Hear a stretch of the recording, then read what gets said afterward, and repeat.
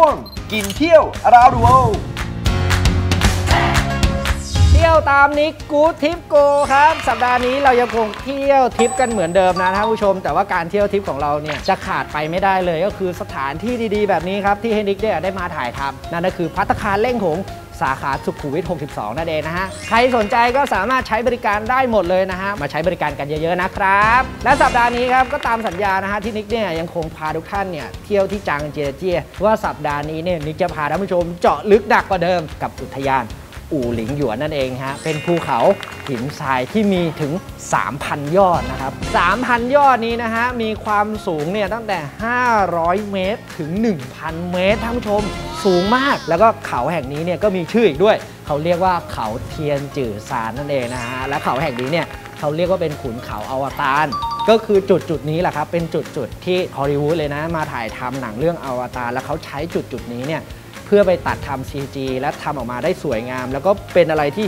Amazing รวมถึงตัวผมเนี่ยได้ดูอวตารเองเนี่ยบอกได้เลยนะท่านผู้ชม ว่าดูหนังว่า Amazing แล้วอะไปถึงบนยอดเขาที่นั่นน่ะหนึ่งความสวยงาม 2 อากาศ แล้วก็ 3 คือบรรยากาศที่เราได้ยืนอยู่ตรงนั้น โอ้โห มันอิ่มเอมเหลือเกิน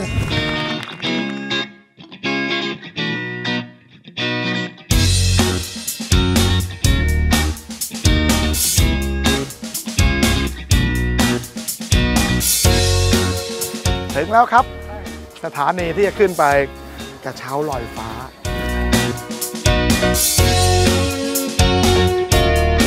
เขาแห่งนี้ครับเป็นเขาที่เขาบอกว่าเป็นจุดพักชมวิวนะครับ ที่สามารถมองเห็นเทือกเขาที่สวยงามที่สุดจุดหนึ่งเลยนะครับ ความสวยงามของเขาเหมือนกับเรายืนอยู่บนภูเขาที่เป็นภูเขาสวรรค์นะครับ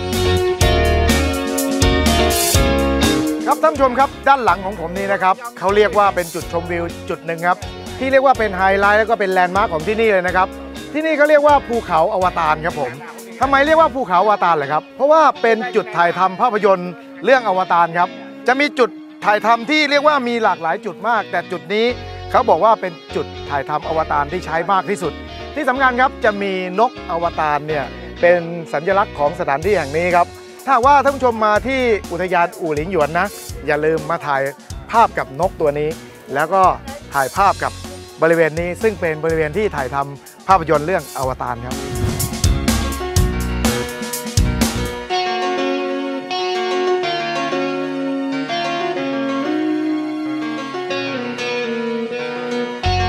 ครับท่านชมจะเห็นว่าหน้าผาของที่อุทยานแห่งนี้นะครับ